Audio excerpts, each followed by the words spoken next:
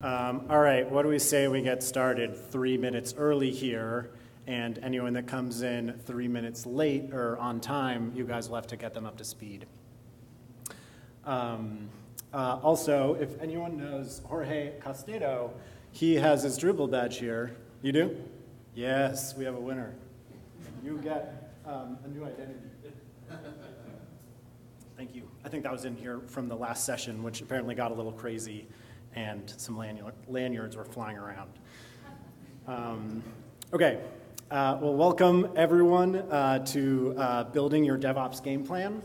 Um, thank you especially for everyone in the front row. Uh, appreciate, um, appreciate the love. Um, so we're going to dig in a little bit about um, how you can bring about uh, change to the organization or the team or the group that you're working in um, and uh, get into DevOps a little bit. Um, so we'll just do some quick kind of like hand raising to, to work it out a little bit. So um, how many people here like feel like they know what DevOps is and are excited about it? Yeah, maybe a bunch of people, cool. Um, let's talk a little bit about like the organization size that we work with. So who works in an organization like under 50 people? Or not anymore, cool. What about under, um, I'm not sure, 300 people? Um, okay, what about under like a thousand people? Yeah, so pr pretty good, pretty good distribution. Um, uh, my background is mostly kind of at smaller companies, um, startups, and um, kind of mid-sized tech firms. Um, but hopefully, what uh, what we get into today will be applicable um, across the board. So I'll tell you a little bit about myself. Uh, so my name is Nick Stielau. Um, I do engineering at Pantheon as one of the first uh, handful of hires there. So if you um, if you're using Pantheon at all, which I would recommend, you're probably using some you know some software system that I built. If you're using Pantheon and it's working really well, you're almost certainly using um, some software which an engineer uh, that's on the team now gutted out all my code and replaced it with much better working code. Um, I'm at nstielau on Twitter and stuff, and I'm a believer. Oh. Uh, I, meant, I think I meant to say believer. But I'm a but I'm a believer too, a Justin Bieber believer. Um, I think he's like the most kind of DevOpsy of like the teenage you know, entertainer kind of, you know, train wrecks.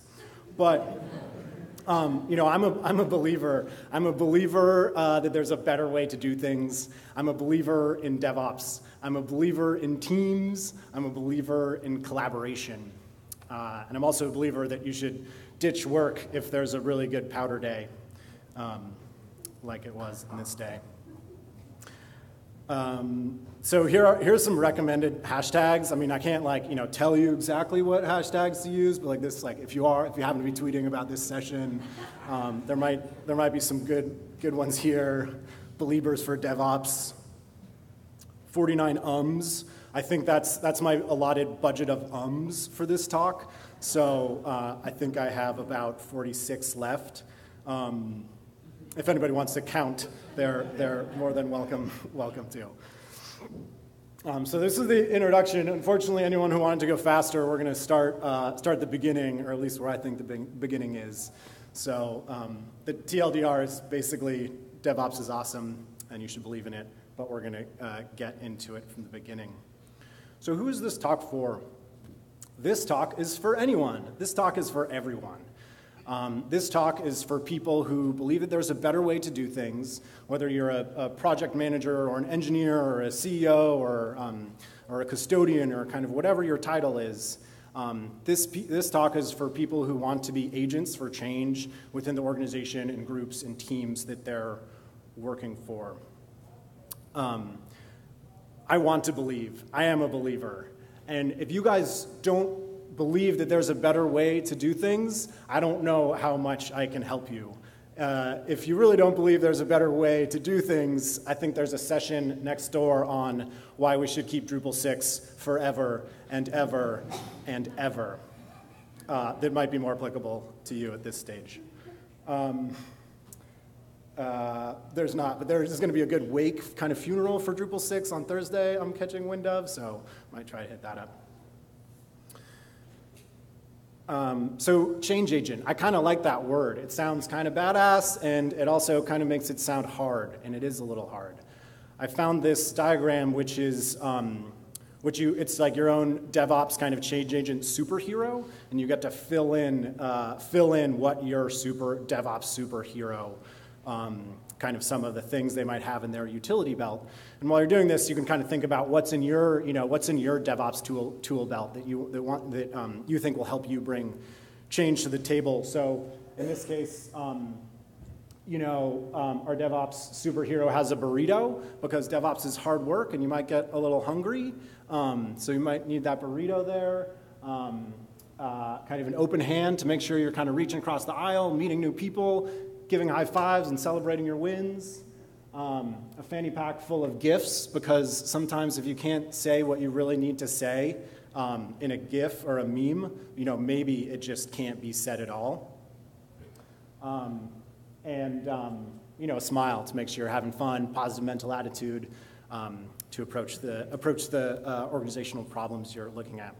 So your DevOps superhero probably looks a little different than this, but um, you know, I think you can be thinking about what, what you have and um, you know, what your teammates have um, uh, and what you think will be necessary within the context of your organization um, to, uh, to kind of make some of that better way that you believe in a reality.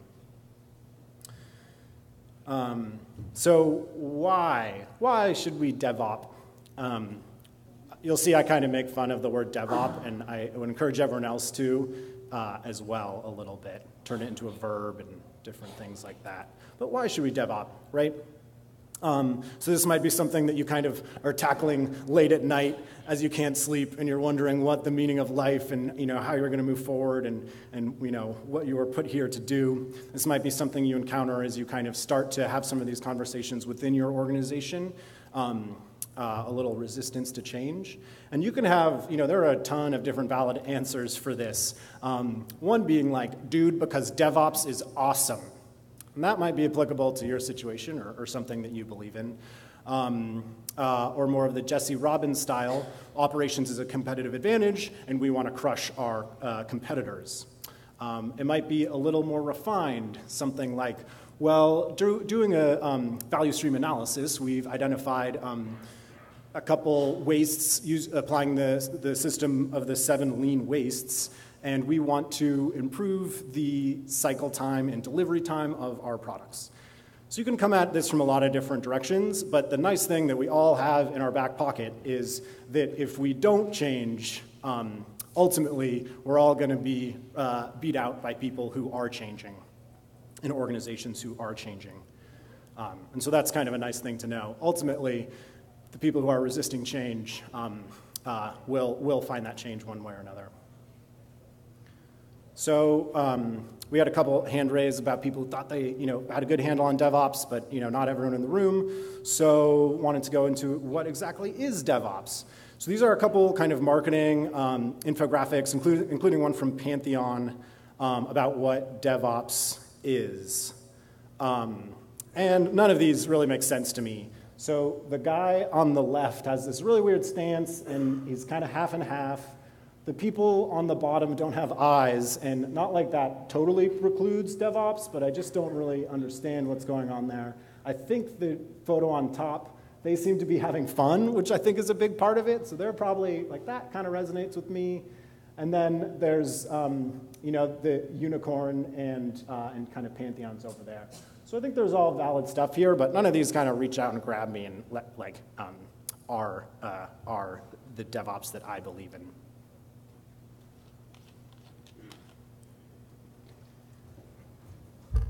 So then we can say, all right, well, what isn't DevOps? Maybe this is an easier, easier way to approach the problem. So uh, this is like the Docker GitHub repo, right? So DevOps isn't a single tool. Like you can't install DevOps. You can't like git clone and like run DevOps, right? It's not about the tools. You know, this is a job description, or this is um, this is like from another marketing website. I love New Relic, but this uh, but it's kind of easy to make fun of. So th these are their tools for DevOps, and this page just keeps going down and down and down. It's like every piece of software out there everything is a tool for DevOps. And so maybe that's true, but I don't think we need a, a website for it. Um, you know, and a DevOps isn't a, isn't a role. You can't just kind of hire DevOps and make it happen. Um, although um, you'll see a lot of these, and um, if you really feel like that's the best title for someone that you're hiring or in your org, uh, you know, go for it. Um, but none of these things really, to me, are DevOps either. Um, so we really need to pin it down and kind of put a definition on this. Um, I like this definition from Adam Jacob, who works at Chef. He's a really good hugger, and he's also put a lot of thought into DevOps and what that means and um, kind of wordsmith this pretty well. Uh, there's kind of a link on the bottom. Chef has a bunch of good content that actually does ring pretty, pretty true um, to me. So if you're looking for more info, look up kind of some of Chef's um, DevOps Kung Fu and, um, and uh, other content. But this definition is that DevOps is a cultural and professional fo- uh, movement focused on how we build, operate, build and operate high velocity organizations born from the experiences of its practitioners. Um, so I like, I like this definition. It actually kind of works for me. And I think the most, uh, the key piece that I like from this definition is the word movement. You know, and I think DevOps is about movement. It's about the movement of value from real, uh, from ideation to realization. It's about the movement of organizational culture and norms from the status quo to the nouveau. It's about the movement of diffs and bits moving out from dev to test to live to customers Ladies and gentlemen, DevOps is about movement. Um, yeah, that's it for this slide. Um, but you know, this is like we're kind of have to like embrace this the paradox of duality here: dev and ops, and dev and ops, and DevOps. Uh, in the words of Zen Master Suzuki, they are one and yet not one. And I think if you spend enough time in DevOps, you, like, you might hear some people kind of get philosophical a little bit. I tend to do that, so you can kind of get me back online. But I think, um, um, you know, so Suzuki talks about what it must feel like as a bit of water that's in a stream, and then the stream launches over a waterfall, and then it turns into these millions of little drops of water, and then they reunite all again at the bottom when the water hits the river again. And if you stare at this problem in the face long enough, you might start to look like this guy. Um, but you know, this is this is a hard hard thing, um, hard thing to do, um, and even a even a hard thing to kind of think about sometimes.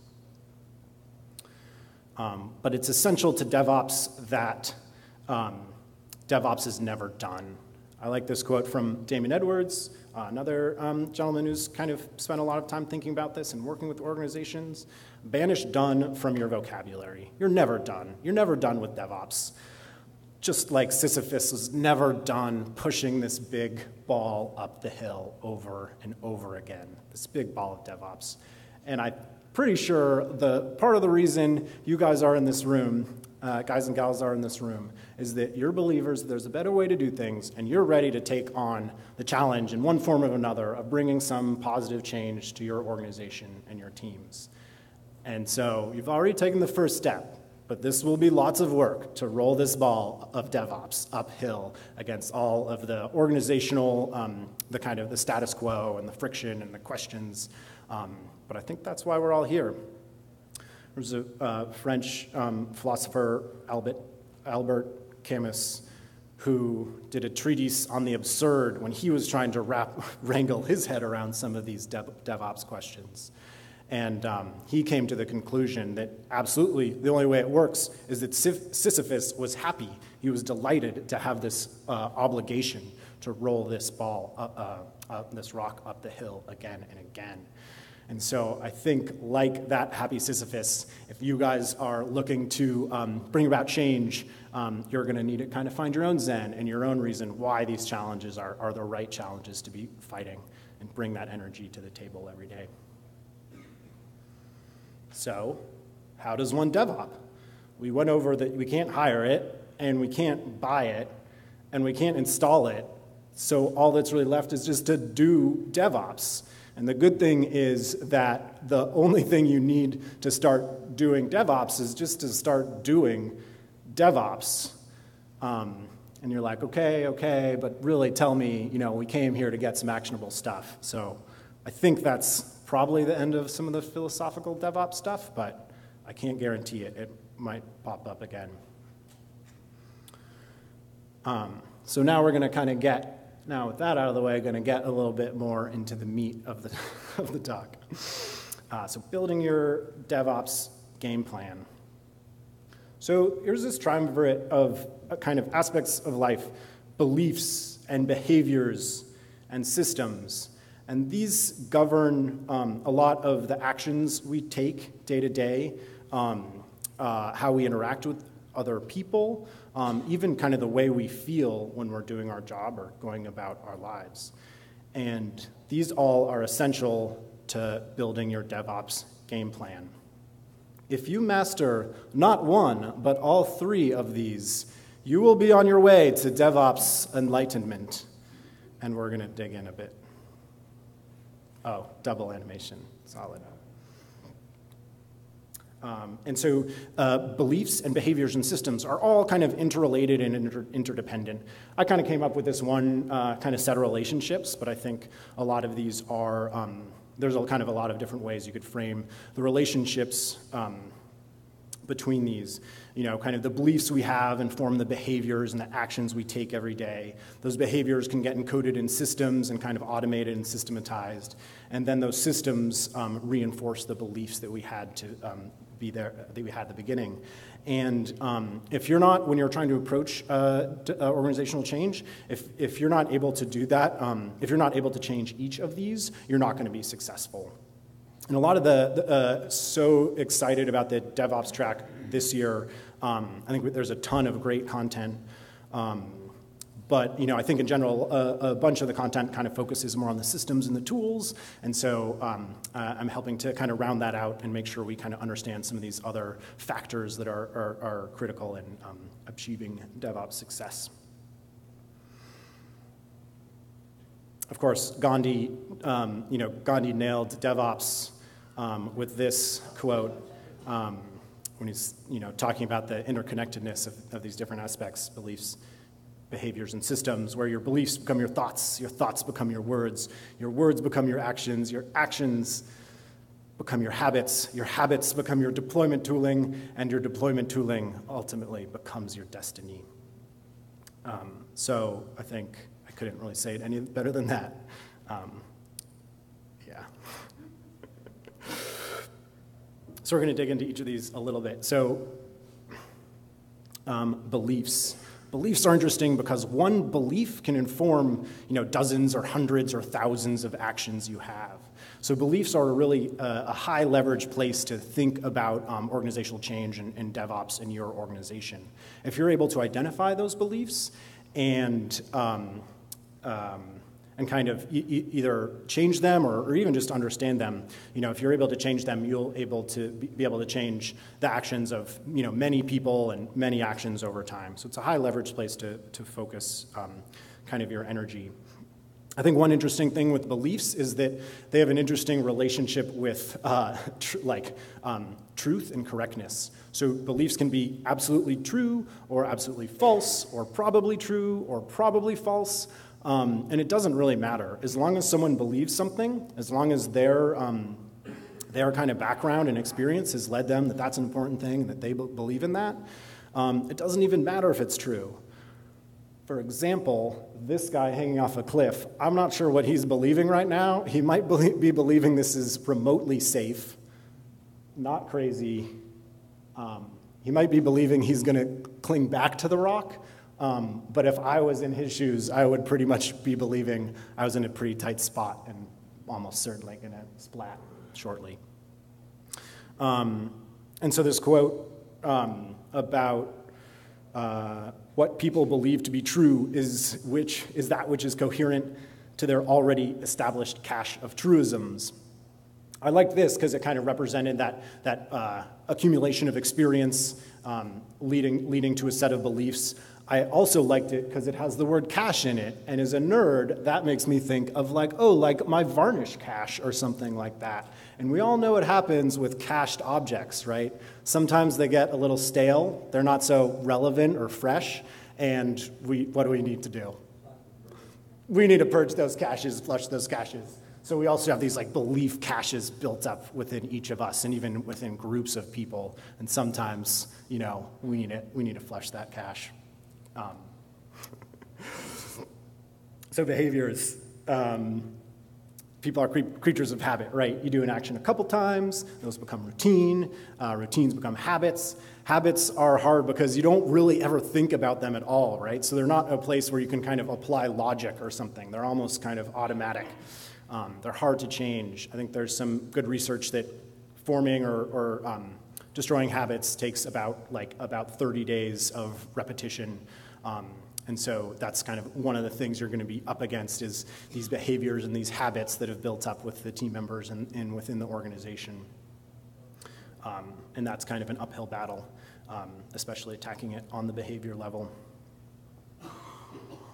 And then, so the systems we have, the tools we have, this is super broad, right? This can be everything from the language that we use um, to the kind of, you know, the, develop, the tools we use to manage the development process, whether sprints or waterfall and all that, down to the kind of individual, I don't know, lines of code or libraries we use or anything else. And I think we're all familiar with um, the adage of if all you have is a hammer, everything looks like a nail. And um, I think that's a really good um, um, explanation of why tools are so important.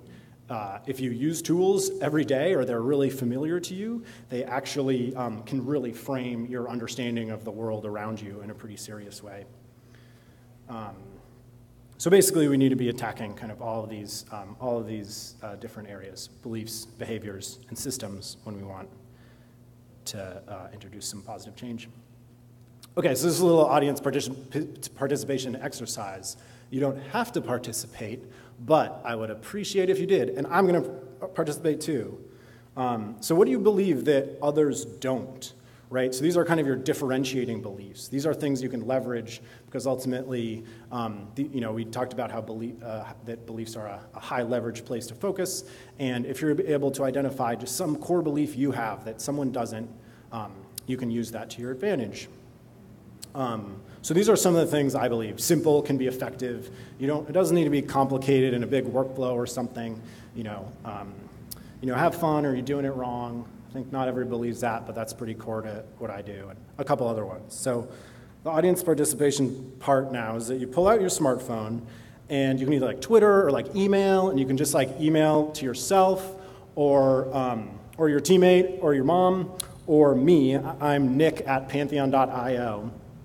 And uh, just can just be in the subject or whatever, and you just say, um, just write down one belief that you have that other people, that not everybody shares. And this could be about DevOps or deployment or the comfortableness of the seat you're in or, um, or your feelings of uh, New Orleans or anything else. So I'm going to do this right now.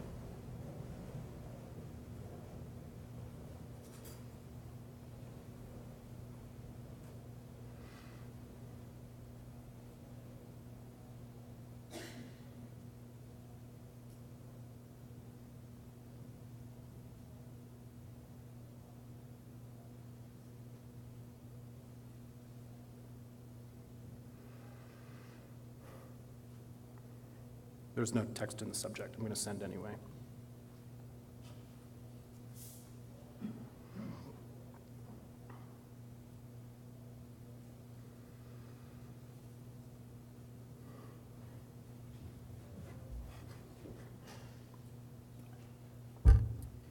All right, well, let anyone finish up that's still doing that. Mine was that I believe this is going pretty well so far, um, better than I thought.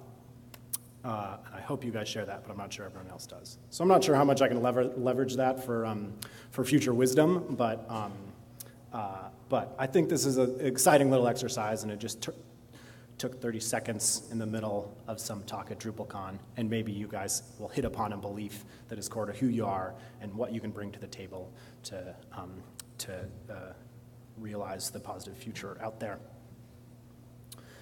Cool. I'm going to go quickly into some belief and behavior and system examples, uh, like from my experience, particularly at Pantheon, and how these might constitute um, some challenges for, you know, basically a successful team.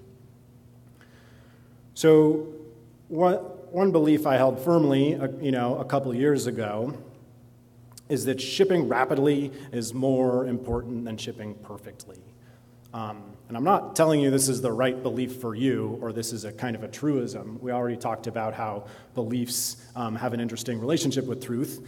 Um, but for me at the time, this is a belief I held pretty dearly.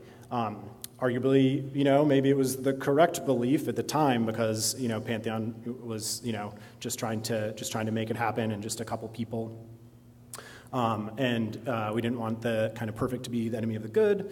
Um, but this affected Pantheon in pretty drastic ways. So this affected who we hired, um, what roles we hired for, and, and what kind of um, skill sets uh, we hired for, and what, what even, you know, hiring other people that believed this.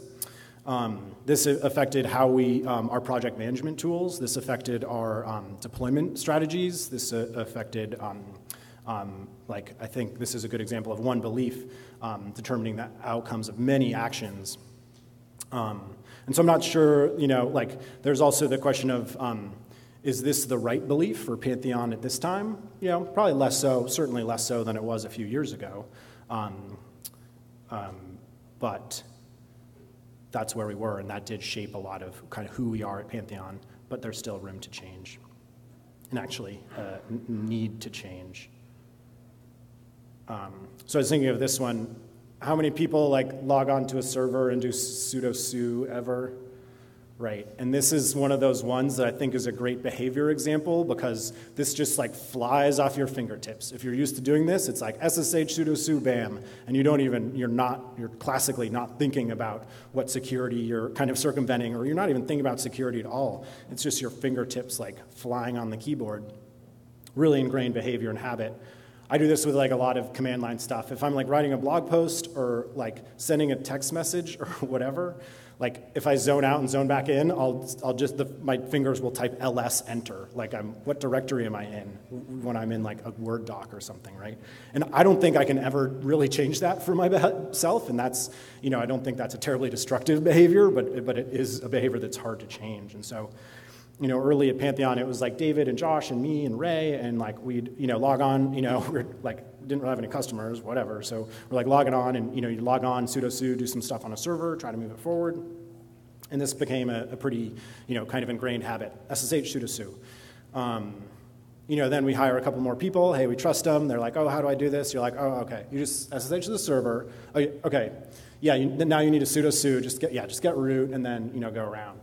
And then, you know, we continue to grow the organization and like kind of look around and we're like, oh my gosh, we actually, not only do we have this behavior that's totally unthinking and is like kind of bypassing a lot of like good security practices, which are like totally feasible um, in Linux and, and, and whatever, we've kind of trained like a bunch of people to do this really dumb thing. Um, and then when we had to kind of take that away, um, you know, it was, it was, uh, um, it was, that was a hard organizational change. You know, taking stuff away from people is always hard. Um, but I like this example of the behavior because some of the stuff you do on the command line or something, you're totally not thinking. Your fingers, you know, maybe you're just clicking your mouse or whatever in some web UI or just kind of flying through something and not even really thinking of the repercussions. And then worse, you're kind of like training up new people to do the same thing. Currently, nobody does this at Pantheon anymore. And then like a tools, uh, thinking of a good tools and systems example. So Pantheon has employees kind of all over the world, in uh, France and Romania and Montana and Oregon and Minneapolis and San Francisco and Cape Town and Prague and New Zealand. Um, and so, you know, we believe that's an effective way to um, great, get um, kind of amazing um, uh, developer and engineer and otherwise uh, um, kind of skill sets and, and, people on the team. Um, but there's a lot of friction in making that work. We have tried so many combinations of um, kind of SaaS tools and different microphones and wide angle webcams and like all these things to try to make it work. And we have a pretty good solution I can like share if you guys want later. But but the experimentation isn't done, right? We've done expensive things like buy a robot where people can like tell it whatever, tell it in and like drive it around the office and stuff. Um, which is pretty cool, but, I, but um, doesn't get used a ton. We've done other like super cheap stuff, like in our slide templates where we know we're going to have a bunch of remote people, we actually block out an area at the bottom that you don't put content in so that we can keep the faces up so you can see the faces of your like remote team while you're, while you're kind of watching the presentation. Um, and so this is an example of how just like the friction of like, you'd think this stuff is a solved problem, but it's definitely not. And um, this is something you need to kind of keep, you know, Sisyphus, keep pushing that AV, AV rock up the hill until you get it right. Or, or it's never done, right? Until you get a workable solution, move on from there. All right, so building your DevOps game plan. This is a quote from Eisenhower that I like to butcher. The one I like to say is, um, uh, plans are useless, planning is essential. And I guess this is what he actually, actually said. But it's important to talk about planning for a little bit. So if you, um, if you want to just kind of break out your laptop and start DevOpping, like by all means do that. You know, you'll have some fun, maybe you'll install like some Chef stuff or some like, you know, continuous integration stuff and it's going to be awesome. But if you really want to, and I think, you know, engineers, and I'm an engineer and stuff, like, ah, that feels really good to like hack on stuff. But if you really want to bring change to your organization, you're going to need at least a little bit of a plan. Uh, and so that's what we're going to go into. Of course, after you make that plan, as Eisenhower said, it's going to be totally useless, but it's still essential or indispensable. So what makes a good game plan, right? It should be actionable, right? The goal is you're actually going to act on this. It should be, you should be able to communicate it well, whether that's um, getting advice from people or sharing out to your team or, um, or getting to your remote employees you know, who, who, might, who might not be in the room when you're kind of developing these ideas. It should be adaptable to be able to change to the circumstances that arise. Um, it should encourage kind of long term alignment, but also set some real goals. Notice that in your game plan, I didn't say anything about having um, the Rock in it, or cute dogs, or people in tutus. And it turns out that was kind of a crappy movie anyway. But, okay, here it is. So, bam, pow, wowza. This is um, how we're going to build our DevOps game plan. So, this is kind of a, a modification of the Toyota kata. Kata uh, is a word that's root meaning is basically a form. So, this comes from martial arts. Um, it could also be for dance or cooking, or in this case, uh, an improvement theme on business processes. Um, this came out of uh, analyzing um, the Toyota production system, the precursor to lean manufacturing. Um, and so I think this is pretty genius. It's, and this goes back to like one of the beliefs that I hold is like simple can be effective, and this is really simple and it can be really effective. It doesn't, you don't need some like complex plan. This is enough to get you going, and we're gonna dig into it a little bit basically has these four quadrants, and we're going to go in a little more depth on each one.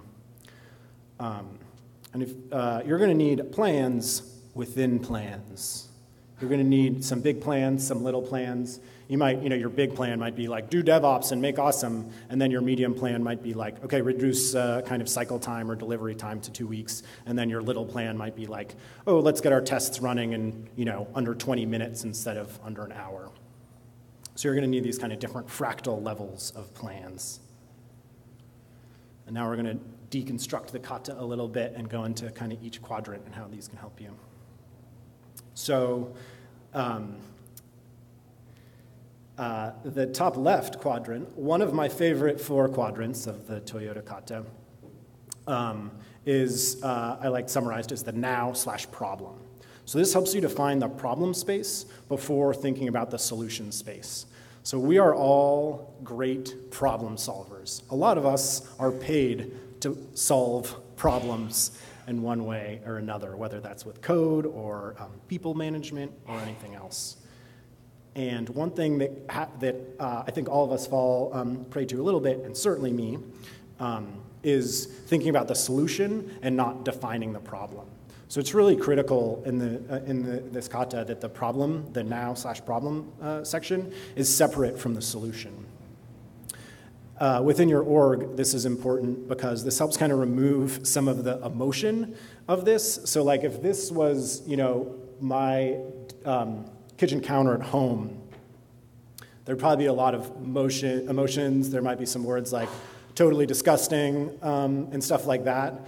Um, and those same emotions are, you know, present in the workplace. And maybe you can be like, all right, let's, okay, I, I get you are disgusted, but uh, let's, let's try to think, you know, realistically here. What's the actual problem we're trying to solve? Um, and um, this also has a little hack that the sooner you start agreeing on stuff, as soon as you start agreeing on what the problem is, you've already kind of driven some level of alignment. Moving on to the definition of awesome. I can't remember, I think this is like Spotify's take or something on the kata, but I, I like these names. Um, so the definition of awesome is where you can think about the kind of constraint free, um, unbridled fantasy world, what this thing, how this thing would be solved. Um, this is this other little game I like to play here, which is like, how much can we agree about in 15 minutes, right? Don't worry about when you don't agree, worry about where you can agree and get as much of that down. This is vital. Again, it's that hack where you start agreeing on something. And secondly, um, if you can all agree in this like far distant future of where you're going, you can kind of line up um, solutions and kind of implementations towards that. You know, if you think we're going to Australia and you think we're going to the moon, and we don't understand that up front, um, we're probably going to end up building different pedal-based solutions to get there. Um, yeah, and this can be fun too, because you can say, no, no, no, don't worry about those constraints. Don't worry about time. Don't worry about people. Don't worry about money. Let's just think about what, what we really want here, if it was totally perfect. Um, so the next segment is the next target condition. So this is where we start to apply some constraints. This will change per organization. It could be, I think, a kind of good um, general rule is like, uh, although it totally depends, is like, is this going to take like, like five people for five weeks is like kind of an amount of time that you could actually realize some real change. But it's really important that you get to a stable state, right? If Sisyphus is pushing that rock uphill, he's not going to like stop on the super steep part where he could, if he like, like to stretch his back where the rock could roll down, right? He's going to get it up to a little plateau and then, you know, take a, a uh, power bar goo and hydrate a little bit and then get ready to push back up. So I think these two things, one, really important to understand what a stable state is. Again, we never know what's going to happen, even with the best laid plans. But if we get our, you know, our technology or our process or our team or whatever it is to a state where it won't like automatically regress if we can look away for a few minutes, that lets us be agile and kind of turn around and focus on something else that comes up if it needs to and not lose that work. Like the idea of conceivable effort you know, conceivable is like, can you actually kind of conceive of that in my small human brain? Like, yeah, five weeks, that's like after, you know, my wife's birthday or whatever. Like, yeah, okay, yeah, let's, let's give that a shot. Um, and again, the specifics of the constraints you apply will be uh, specific to your context and your organization. Bigger orgs, you might be like, hey, where can we get you know, a year? Um, other people might be like, hey, we've got two hours this afternoon. Let's see if we can, we can stable, st- uh, get to a good state, commit the code or whatever um, agree on the change. Although you do, part of this is you do want to break these up into like pretty small, like basically as small chunks as you can, um, just to reduce the risk of, of moving forward. You can always fall back to the definition of awesome, but you're focusing on the next possible stable state, basically. And then lastly, we're going to talk about first steps. So, what can we start doing right now um, uh, uh, that will help us start moving towards the next stable state? Uh, towards the long-term, long-term vision, just like this cute little duck waddling off into the sunset. I'll, leave you with that for just a minute. You know, they've proven that ducks are the funniest animals. And I think duck butts might then are even funnier. So there you have it. Um, this is the kata, this is the form that we're going to put into practice and continue to kind of work with um, within our org and work through over time. Uh, reinvent constantly as needed. You're welcome to kind of like this is a good starting place. You're like welcome to kind of tweak it as your you know as, as uh, your circumstances need, but this is the basis. So we're going to go into some um, into a couple examples and um, uh, there's like an opportunity for improv in here if anyone's really into improv, uh, or we can skip that, do that offline, get a BoF. But, so we're gonna go through a couple of these. Doing the dishes, which is like one from my home life, you know, um, uh, trying to get some po positive improvement there. Uh, looking at our on-call rotation, which is something that we're actively kind of discussing at Pantheon. Um, and, then, and then we'll see where we go from there. So, um, you know, okay, so my wife and I are like, okay, you know, she's pissed, it's disgusting. All right, let's define the problem here. Okay, I totally agree. Nobody could miss it that the dishes are co covering the sink. Um, yeah, and the and the um, utensils, you know, are dirty. And she's like, and moreover, when I want to go make cookies, I can't. And so now I kind of pick up. I'm like, all right, that's totally true. I totally agree. This lack of cookies is totally untenable. Um, and so then we're like, we're like, okay, agreed, boom. Let's go to, let's like, what would be awesome about, you know, our kitchen and our relationship with each other vis-a-vis the kitchen. Um, we're like, cool, yeah, the pans are clean. Yeah, things are put away. Oh, that, because that makes, that makes, okay, we have, we can get homemade cookies pretty much any time in 38 minutes. Yeah, that would require like the, the cookies put away or the utensils like put in the right spot so we know where they are so we can streamline that whole thing. Okay, cookies in 38 minutes, that would be awesome. Um, yeah. And then, or like, okay, realistically, where are we going to get from here? You know, this is kind of where you can break it down further. Um, uh, Okay, so maybe we don't need always need a new batch of cookies, but it would be if we make a big enough batch, like we can always have cookies around. So I think that's like a pretty good stable state that like in our lives we just introduce that there are always these homemade cookies, and that will have like some backstop that like at least our kitchen operations are good enough that um, you know we're able to make a batch when we need to replenish the batch that um, um, somebody's gobbling on. Um, and so I think another, like I, I wasn't able to like really manage it in this talk. But I think you know metrics, quantitative goals are really important. So even like some of these will be qualitative, and that's cool. But as much as like quantitative goals and metrics as you can put in here, um, that really just like helps. That's another tool for alignment, um, and probably worth a whole talk on its own. And then we're like, okay, getting into first steps, and I'm like, well, you know, I would, I, like honestly, I would do the dishes, but I don't like the way my hands feel when they're all like soapy and stuff. We're like, all right, that's easy. Amazon, to get you some big um, gloves for doing all these dirty work. Kind of a couple other things. I have these big gloves. They're like so thick. I think they're from Japan and they're like fishing gloves or something, but they make me feel um, like, you know, um, I don't know, totally capable of, of getting in there. So that, um, boom, we're on our way. We have a plan. We've uh, throughout this process, we've gotten a high degree of alignment on where we are now, objectively why that's a problem, where we want to go in the far distant future of our, um, you know, uh, kitchen operating um, uh, vision. Um, we know we think we can get to a stable, uh, stable state, which will be um, easy to show whether we've made it there or not, um, as well as some some first steps. yeah. So the next one is a little more relevant, like to work and stuff like that. But so we have this problem at Pantheon. We do have people all over, but kind of on the um, EU time zone, we have a lot fewer people. And so we have a lot um, fewer people there that, in particular, that are on the on-call rotation. Um, and then that's hard for them because they end up spending a lot of time on call. You know, we want to treat on call as a, as a top priority to make sure our systems are reliable and you know, sites um, have the, the best uptime that we can manage. Um, but for this team in the EU, they're spending like an inordinate amount of time kind of being a little more reactive and not enough time being proactive. Um, we're getting more, we're you know, hiring more and more great engineers, and um, so the rotation is getting bigger. Now we have like eight or 10 people in the rotation in the US alone, but that means the distance, the time between um, uh, when you're on call is, is spreading out. And so that means there's kind of less of a good feedback loop where we're actually able to fix problems and just end up kind of break fixing what we see. There's so much tribal knowledge. Um, so it's really hard to train new people on, um, on you know, what's what the expectations and, and the tools and the tricks and the, everything else that goes along with kind of debugging our production systems.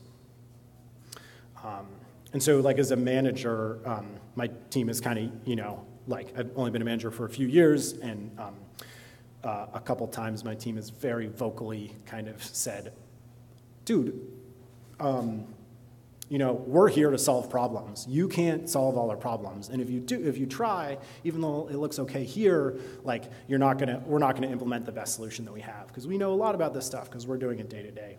So this is kind of a case where using the kata to help break out the problem space from the solution space and letting them handle that. Uh, working on definition of awesome, we have clear expectations about what's being on call. Uh, it's not relying on judgment, so that means kind of um, uh, our playbooks, anyone can follow a playbook. Like if it's your first day, you could be on call and still follow a playbook, and you don't need to know a ton of this stuff about how the system operates to be able to be effective. Uh, reducing the number of alerts. And, um, and I think you guys can kind of take away the rest. Um, so um, this is where I was going to do the improv one, but I'm not quite sure we're up for it today. I don't think there's any huge improv fans, so you can go through this on your own. Um, and with that, wrap things up a little bit. Um, so hopefully I've convinced you, and I hope everyone here is in the room, you know, believes that there's a better way to do whatever it is we're doing. You know, we're excited and we're ready to be an active, fearless change agent within our team and organization. We have some tools now to help align on the kind of the um, collective vision in the future, uh, and we're going to focus on some actionable next steps to deliver change. And lastly, but not least, uh, everyone here has to draw from, find and draw from sources of in inspiration. This is one of one source of inspiration for myself. This is a picture of Franconia Notch in New Hampshire in the White Mountains. Um, and, uh, and this quote, um, always rising, never steeply. And um, this is something I've repeated, it's kind of a mantra for myself for a while. That you don't need to change the world in kind of big steps and bounds, as long as you're getting a little bit better every day. And um, J. Rayner Edmands was one of the heads of the Appalachian Mountain Club um, towards the end of the um, 1800s who had this vision about recreation in, in the, these, these mountains, about creating a system of huts and trails that was always rising, never steeply. And in fairness, there's like quite a bit of steep stuff. Um, but I, this is always something I've been drawn to to kind of wake up in the morning and um, get out of bed and you know just try to make the world a little bit better of a place one smile, one laugh, one shared goal, one active collaboration. Um, yeah, so that's kind of what I'll leave you guys with. Um, and if you want more of this, another one of my DevOps inspirations, Michelle, you can't say Krejci without CI. Krejci is talking Thursday um, about DevOps in the chocolate factory or something like that. Um, if anybody wants to rate me, I would appreciate the feedback and um, some other content that might help you guys. So thank you so much, everyone, for coming. Hopefully that was useful. Happy to dig into any questions or... So are you still scared of DevOps in the back? I think he, we might have scared him out entirely, but yeah. Any questions I can answer, or we can take them offline?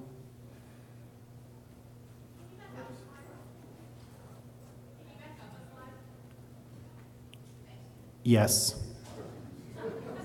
The question was, can I back up a slide?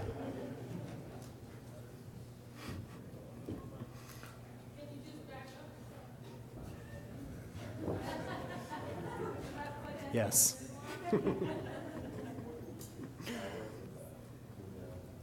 cool, thank you.